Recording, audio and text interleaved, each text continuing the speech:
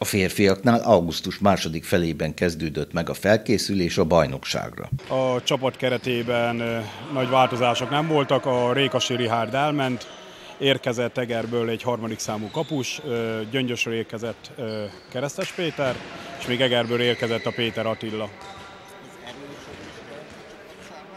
Hát mindenképpen erősödés jelent, mert két játékos személyében sikerült két belső posztra embert igazolnunk, és elfelejtettem, még mezőkövesdő kölcsönben megkaptuk a Fábián Rolandot is.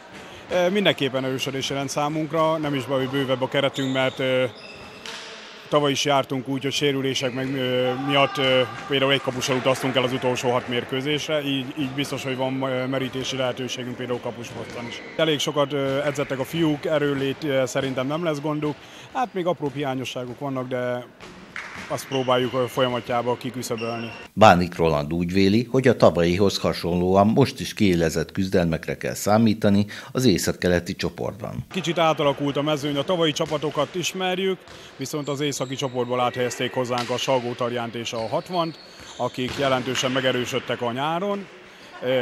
Ha jól hallottam, a célkitűzése mind a két csapatnak a bajnoki cím, hát majd meglátjuk.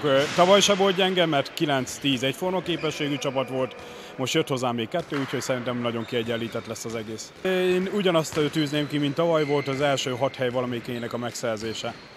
Ha az mögött végeznénk, akkor egy kicsit csalódott lennék, de én úgy gondolom, hogy a csapat és a keret erőssége az adja azt, hogy a, ott lehetünk az első hatban.